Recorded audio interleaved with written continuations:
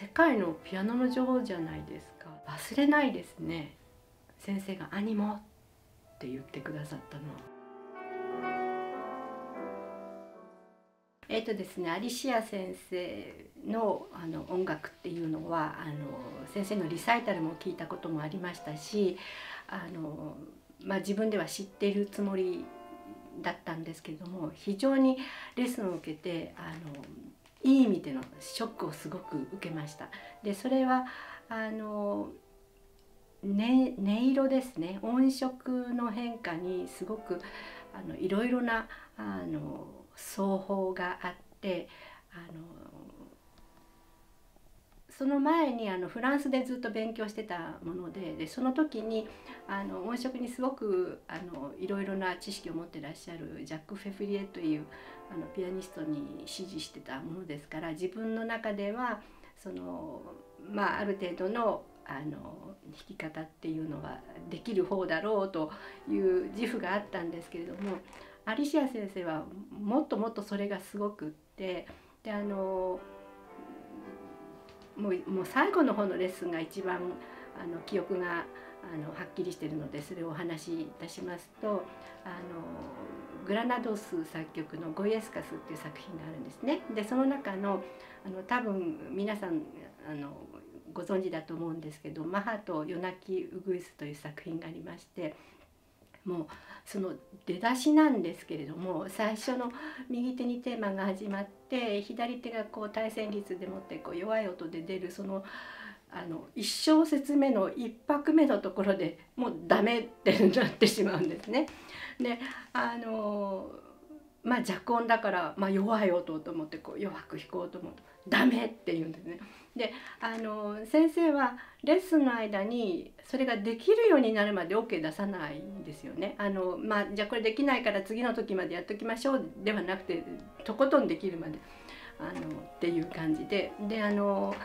えープライベートのお付き合いも割とあったものですからその時に先生がすごく優しいのは分かっているんですけどもあのレッスンとなりますと結構こう厳しくなってであのこちらができないと先生はすごく機嫌が悪くなって 周りの人も「あ機嫌悪くなっちゃった」っていう感じに あの分かるんですけどもなんかその壺の中にはまっちゃうような感じでできるまであのずっと「まだダメまだダメ」っていうんでもうあのこちらとしてはもうあの人がいなかったら泣きたいぐらいな感じなんですけどもあので最終的にあの周りで聞いてたものが音が変わったっ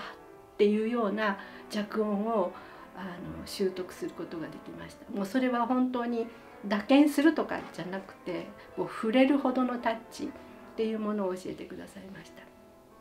で、えーと、もう一方では例えばファリアの作品ですごく教員教音を出す時にあの今までフランスで演奏する時っていうのはもう鍵盤の高さで弾きなさいってそこから弾くようにっていうことを言われてたのがアリシタ先生はもうこうやって弾くんですね。でそれやったことなかったんでもうびっくりしちゃったんですけどもあのそのぐらいすごくってあのそこのまず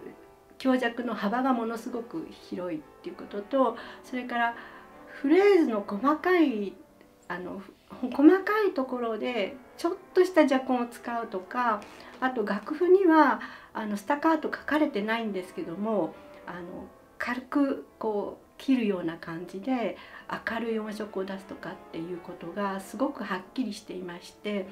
あのそのフランスでは主にドビュッシーをやっていてでその時もアーティキュレーションでこう音色を変えていくっていう技術は随分勉強したつもりだったんですけどそれが本当にあのフランスで、えー、花の色が淡いのがスペインですごくはっきりした花が咲いてるっていうのと同じようにその音が持っている色彩感っていうのがよりこう鮮明にあの音として出せるっていうのをあのアリシア先生からあの厳しく、えー、学ばせてもらえたように思っています。先ほどあのグラナドスのゴイエスカスのマハの話をしたんですけどもそのあのマハに出てくるあの一番最初のメロディーっていうのはスペイン民謡にあるメロディーなんですね。なんですけどもあの先生はあの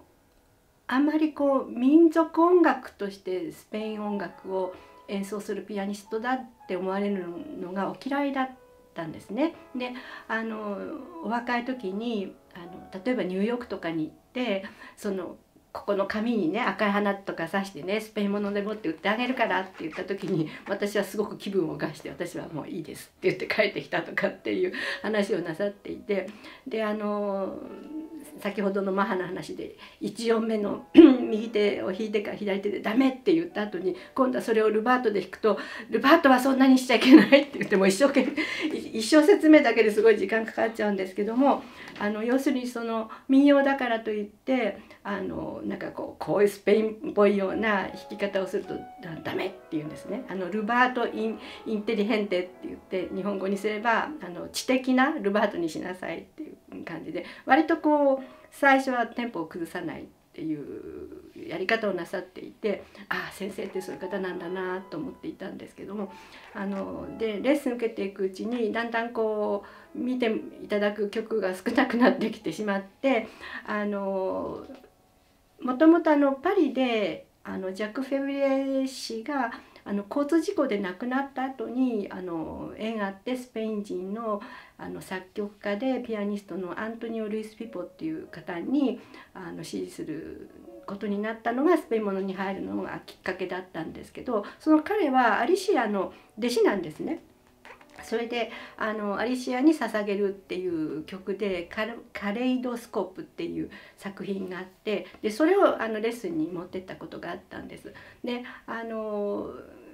ゴイエスカスとかアルベニスのイベリアっていう作品はもうあの先生の演奏を生やあの CD でも散々聞いていたので先生が大体どういう歌い回しで演奏なさるっていうことは分かっているんですけどもこのルイス・ピッポの作品については先生がどういうふうにお弾きになるのかを聞いたことがなかったので。あので中であのカントリブレっていうのがあるんですね。今ここに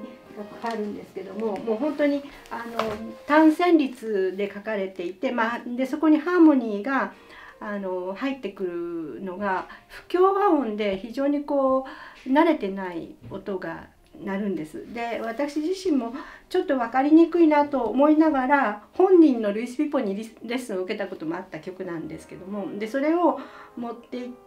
てで先生先生はいつもあのあのピアノのあの鍵盤の前にあの私と先生がここにいてレッスンをするわけなんですがちょっとどきなさいみたいな感じで先生がご自分でお弾きになるわけですよね。そうするとそのあのカントリーブレっていうのはすっごいあのまあフラメンコのあのしわがれ声で歌うこの人生のあの悲痛な思いのようなものをこう歌っていく歌があるんですけどもまさにそういう感じで先生がお弾きになるんですね。であのそれこそ先ほどのあのルバートは知的じゃなければダメっておっしゃってたアリシア先生がえこんな弾き方で表現なさるんだっていうのをあの目の前で弾いてくださってあのすごくびっくりしました。ですからあのスペイン人のピアニストとして活動している時には世界に向けてあの世界中の人があの違和感なくあのスペインの作品っていうのを非常にこうウェルカムにしてくれるようになさってたのかなと思う一方で、まあ、先生ご自身がやはりあのスペイン人の DNA を持ってらっしゃるから実際にこういうあの作品を演奏する時にはこんな風に演奏なさるんだっていうこれもものすごい感動でした。あのですからイベリアなどのあの 民族的なメロディーが出てくる時にはやっぱりそこでもってそういうのがちらりとこう出てきてっていうようなあの歌い回しをなさるのはもう当然のことなんだなっていうふうに思いました。一番最初に先生にレッスン受けたのっていうのはかなり古くって1983年ぐらいなんですね。でその頃はあのまだもう先生はもう本当に神様みたいに あの手の届かないような方だったものですからあの浜田二郎先生とねご一緒にあのホテル日本のホテルでレッスンを受けたわけなんですけどもその時はもうもうパニックになってるぐらいもうあのでもその時にもあの音色のことすごく言われたことを覚えてるんですけどでそれ以降あのちょっと私自身があの結婚出産っていうのがあって少しブランクがあったんですけどその後またあのレッスンをお願いするようになってからはあの大体隔年だったと思うんですけど1年おきの5月ぐらいに 5, 5月じゃない時もありましたけどあの来日なさるんですね。神原さんの招聘であのいらっしゃるわけなんですけども。でそうするとその頃は、まあ、携帯も使ってたと思うんですけど家電の方にあの先生から直接スペイン語であの電話いただくんですね。そうするとあの私のあの小学生の子供が電話出て「わここのうちはなんか知らない言葉で電話がかかってくるうちなんだ」とかって言ってたんですけどあの先生から直接お電話いただいてそれであのすき焼きとかしゃぶしゃぶとかあのステーキとか先生はあのお肉が割にお好きでであのお箸も上手にお使いになってね。でお食事をしてでそこでお話をいろいろするんですけどもそんな時にもあの何年にキューバに行ってそこでどうとかっていうのがもうすごくその年号とかを覚えてらしてあのえー、あの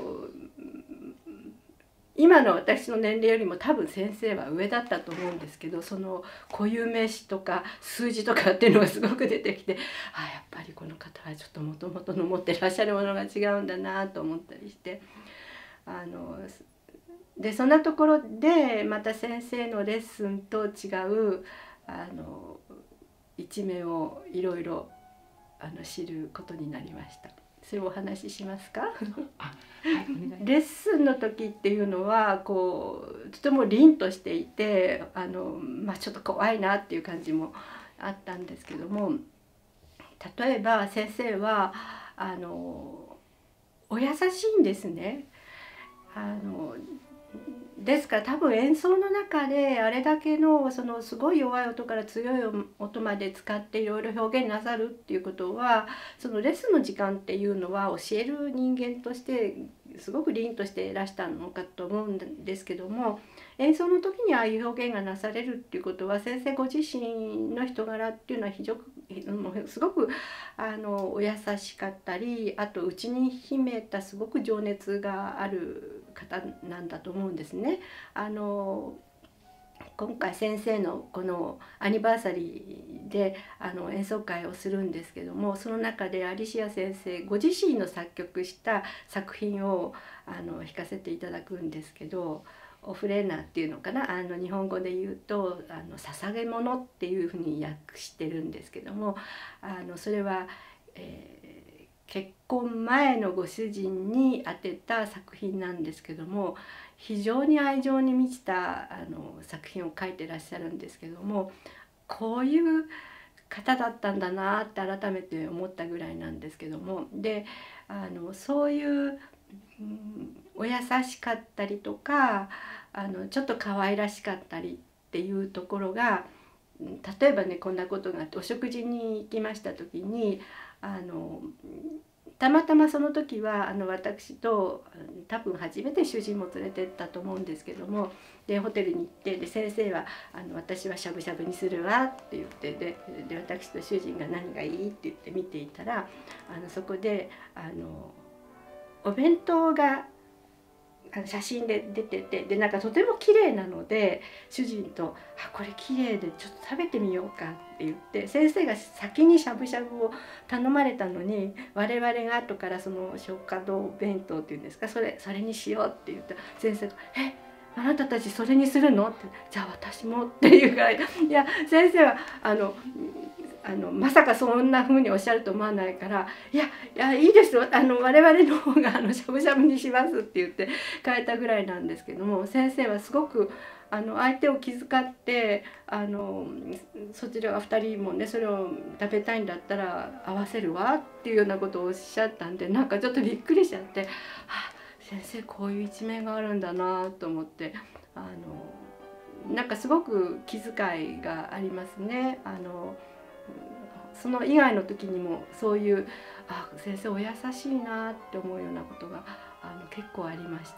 先ほどあのマハのあマハと夜泣きウグイスの演奏でアリシア先生があのルバートは全くしないんではないですけども知的なルバートで演奏するようにっておっしゃってたんですけどもあの私をスペイン音楽に導いてくれた最初の人っていうのがアリシアの弟子であるアントニオ・ルスピボっていう人でその人はアンダルシアの人だったわけです。で彼はあのその出だしのメロディーの歌い方っていうのは非常にこうあの民族的なフラメンコにあるようなちょっとこうあの揺らすような感じで弾く人でした。であのその音楽っていうのがあの南の人と北の人のあるあのある程度こう象徴的な感じであってあのバルセロナの人っていうのはあまりこう時間にルーズなところはなかったりとかあと静かであったりっていう感じがあってあの南の人はあのすごく陽気で、えー、陽気であってあと非常にこう暗い面もあったりとかあの感情の起伏が南の人はすごく激しいっていうところがあるんですね。でアリシア先生はあの北の方なのであの静かなんです。ですけどそのバルセロナの方たちはあの静かなんですけども心の中がすごくしっかり強いっていうようなあの感じです。音楽も本当にそういうふうにあの思いますけれども。であの、まあ、例えばアリシア先生はレッスン時間って遅れないであのきちっとっていうか早めにいらしたりするぐらいの方でああって思ったんですけどもあのすごくお優しい反面強いところがあってあのこれもすごくすごく覚えてるんですけど2003年っていうのがアリシア先生の引退の年だったんです。でその年っていうのは私自身も、えーと、何回かスペインと日本を往復していてあの先生とあちらでもあってこちらでも日本でもあってっていうようなあの年だったんですね。でその年っていうのがあのまあコロナみたいな SARS っていうのがあの流行ってでこちらでは例えばあの学生たちは修学旅行も行かないようなでみんながマスクをしてっていうような時だったんですね。であの私が、えー、なんかコンクールの審査か何かでスペインに行った時にももうヒヤヒヤでマスクしてあの行って。で向こうに着いたら誰もマスクしてないみたいなような感じだったんですけどもでその時にあのもう先生は高齢でいらしたんですけども来日なさってであの「大丈夫でしょうか?」って言ったら「いやあの全然あの怖くなんかない」ってもうどこで死んでも大丈夫みたいなことをおっしゃっててでその時に「先生ってすごいな」その時80歳のはずですね。2003年だったので。だからその高齢でであのまして先生はあのお体あのどこが悪いかお聞きしてないんですけどもお食事の時にあのあのこんないっぱいお薬を飲まれてであのワインもお飲みにならないんですね。ですから今で言ったらあの日本で言ったらあの一番気にしなければいけない。あんまりあのワクチンもちゃんとマスクもちゃんとって言われるような世代ですけれども先生はもうそんなことは全然おっしゃらないであの大丈夫なのっていうふうにおっしゃってたのでそれすごい強いなと思いました。割とねあの私があの多分日本で一番古い生徒なのかなと思うのでいろんなことでちょっとこう他の方がご存じない話かもしれないんですけどもあの地震が本番の多分10分ぐらい前でしょうかね。あの急にあのその頃ってなんか地震が多かったんですねであのどこかの国賓の方もいらしてもすごくびっくりしちゃって大変だったっていう話もなさってたんですけどもであのその直前の地震のために先生は実は具合が悪くなってしまってあのまあ演奏は素晴らしい演奏だったんですけどもあのアンコールをなさらなかったんですね。であのそんなことめったにないことですからあらーっていう感じでで、まあ、一応あの出待ちで皆さんこう列を作ってでその中に私もおりました。で先生がこうしたらもうあの面会もなしとかっていうことでそんな具合悪いのかと思って心配してたんですけどこうやって先生こうにあの係の方が先生こうやって誘導なさってる時に先生がこちら向いてこうやってってやってであななんか電話と思ってであのその日はあの残念ねってあのみんなで帰って。そうしましたらあの翌朝先生からお電話いただいて今からステーキ食べようっておっしゃってであのお昼ですねだか朝お電話いただいてお昼にあの先生はあのホテルでお待ちになっててで先生はあの、まあ、そのお年ですけど赤いハイヒールとかお履きになるんですね。であの自分が宿泊なさってるホテルのあのそこのレストランなんですけどもハイヒールを履いてこうネックレスをちゃんとしてもうシャンとしてねあのとてもおしゃれでいやこれもすごいなと思ったんですけどもそういう感じでステーキをねあの私個人ではじあの自分では あの食べに行かないような素晴らしいお料理をねあのご馳走してくださって楽しかったです。それであの先生は生徒の悩みとか聞いてくださるんですね。これもなんかあんな世界の大ピアニストがええー、と思うんですけどもその頃私自身はあの結婚もしてますし子供もいますしいろいろこううまくいかないこともいっぱいあったりなんかしたんですけども話聞いてくださってあのこしたらいいわよっていうことではないんですけどもすごくあなたの言ってること分かってあの頑張りなさいっていうような感じでねおっしゃってくださって多分その時だと思ったんですけども帰国なさってからねあのまた国際電話かけてくださるんですよ。であの国際電話いただく時にはなんかこれこれこういう用があるからっていうことなのかなと思ってそういうこそういうこともあったのでたらあのその時はそうじゃなくて「頑張りなさい」って「兄も」って言うんですけどその電話だったんですね。だからこんな風に人の心を思いやるだって世界のピアノの女王じゃないですかだからそういう方がこういう風なあのお優しい心を持ってるっていうのはもうありがたくてもう何年って20年経ってますか忘れないですね先生が「兄も」って言ってくださったのは本当に忘れられないです。神原さんとあのアリシア先生っていうのはあのとても長いお付き合いらしいですね。でこれはあのちょっと噂でしか聞いたことがないんですけどもあの最初アリシア先生が日本にいらした時にはまだそんなに満席になるようなことではなかったらしいんですけどもあの非常に神原さんがあの頑張ってあの続けてくださったっていうことがあったみたいですね。であの